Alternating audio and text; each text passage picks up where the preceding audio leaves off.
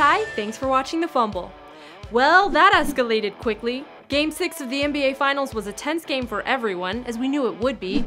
A lot of physicality and a lot of drama, with Steph Curry at the center of most of it. Steph was racking up fouls like Draymond Green, some of them fair calls and some of them really bad calls if we're being honest. On his sixth foul, well, that's when all hell broke loose. 4 minutes and 22 seconds in the fourth, and the foul was on LeBron James. Steph was so livid with the call, he viciously threw his mouthpiece, his beloved mouthpiece, into the stands and immediately started fighting with the ref before being carried away by Thompson and Livingston. He received a tech and the first ejection of his career. Before walking out, he apologized to the lucky fan he hit that can probably sell that mouthpiece on eBay for upward of $10,000. Alright, to be fair, Steph was not the only player throwing some toot in this game. At one point, LeBron James, who by the way had another insane 41 point game, was driving the ball down and pushed Steph Curry out of the way.